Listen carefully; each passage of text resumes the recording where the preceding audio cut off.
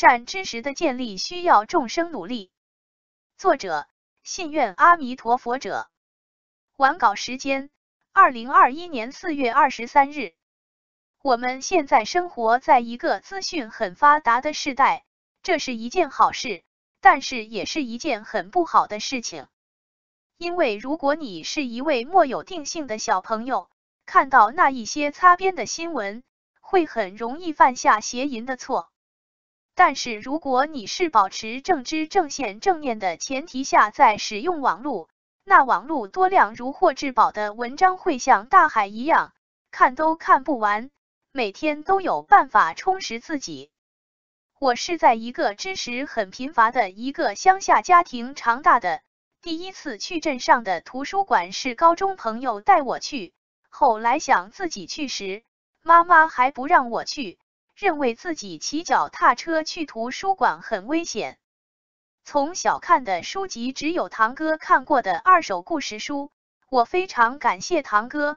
是他让我有了一些故事书可以看，我非常的喜欢阅读。但我是在一个父母都是工人的环境下长大，周遭莫有任何比较会读书的大人在。每天父母对我说的就是去读书三个字，而不是以实际行动买课外书、故事书给我。认字多后，家中有订报纸，报纸上的副刊文章是我心灵的寄托。让我拓展了眼线。大概是小五、小六才第一次接触电脑，学校安排的电脑课，班上三十几人，只有一位家里有电脑。不过国中也因为家里安了电脑，看了不好的影片。万物是一正一邪，有好处就有坏处。后来反省，可能是我前世的修的不够好，有可能是前世中。我吝啬分享自己的知识给别人，或者是一位不够格、不好好教课的老师，今世才有难遇好知识、晚遇知识之感叹。大家求学期间，应该都有那种某一位导师跟自己特别投缘的情况吧？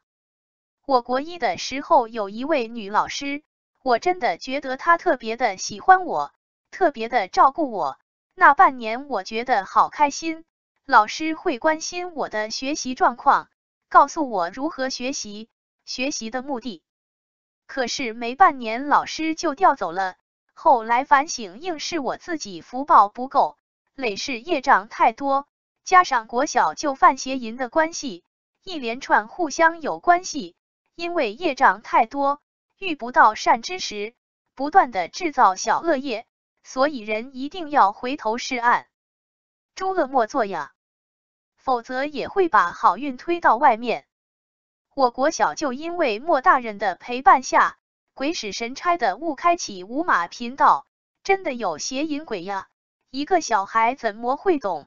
懵懵懂懂的看到电视上播放邪淫片段，而做一些邪淫的事情。虽然长大期间，母亲会告诉我不可以在外面乱来，但是我并不知道这事情会跟福德、运气。功名有关，所以我没有很在意。如果母亲能多懂一些佛法，以因果论来告诉我原因，恶果会好过。只有那一句不可以在外面乱来。各位母亲一定要观察你的孩子，每个孩子度化、劝说的方式都不一样，有的适合命令式，有的适合循循善诱式，有的适合跟他讲道理。孩子带到了世上，要让孩子建立正知正见，否则就是造了一个恶果到世间呐。大学毕业后，事业不顺，工作的事业都会遇到小人、双面人，觉得自己已经很用心在工作了。在一次被排挤、逼迫离职的状况下，我无意中不知从哪边看到戒邪淫的文章与功名、事业的相关性。真的很感谢分享的作者，不管是失败的或成功的，让我有所如获至宝的感觉。可以纵观我这十五多年不顺，就是因为犯邪淫，主要是看黄色的漫画、黄色电影、意淫，并没有实际上跟其他异性乱来。是因为我魅力不够，胆子又小，真的是很感谢。还好我未犯下与他人实际淫乱罪业，但是这也让我分享一下新的想法是非常重要的。有时候你新的这个念头起来，可能是跟实际去做差不多的功德或者是恶报。为了感谢分享好文章、圣贤文章的人，我开始做了部落格。做了一些鼓励正念正行的文章图文，在此补充：以前小时候非常的想学习钢琴，总是很羡慕同学三十七岁还是想去学钢琴圆梦。但建立自己的部落格后，我发现我的天赋不在音乐，在绘图、设计、写文章这方面，顿时对学钢琴这件事情的执着完全放下。或许要发现。善用、珍惜自己的天赋，老天爷无意中会让你放下对某些事情的执着。善知识要很多网友的帮忙才能够建立起来，社会上才有更多的正知正行的好文章在网络上广为流传。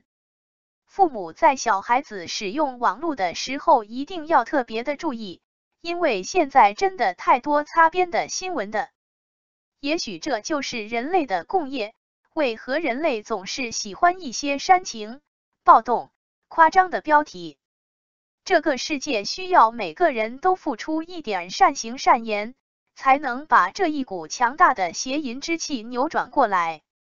感谢每一位认真经营圣贤网站，还有谢谢分享文章的部落格格主或是影片主持人，因为宣传佛法、宣传戒邪淫。是一件吃力不讨好，而且又可能会被笑迂腐迷信的一件工作，而且还无心。我这里提无心，不讲无常，是因为我相信有累积阴德福报。只要去做宣传正知正念的事情，冥冥之中佛菩萨真的都会来帮助你。不管是让你找到更适合的工作，让你有更多时间经营圣贤网站。或是让你有更多灵感可以发挥，或是让你的天赋发挥到极点。总之，如果有实行的人，应该能体会，冥冥之中好像都有注定。感谢佛菩萨，让我现在有一份好工作，虽然是小公司，但离家近，准时上下班，公司莫有表面假加班的风气，中午还能有好吃的素食便当，厨余处理。洗碗筷处理都很方便。之前的被排挤离职的经验虽然不好，难过、气愤，流了很多眼泪，但莫遇到这大恶报，我又怎么会接触到佛教，了解邪淫之恶？人呐，如果能在没有恶报的情况下，就能坚持正知正念，不犯邪淫过，不犯口业过，未来就不用常受一些果报。但事实上，人常常都是被打了才知道痛。希望每个看到有缘圣贤文章的人都能少走人生弯路。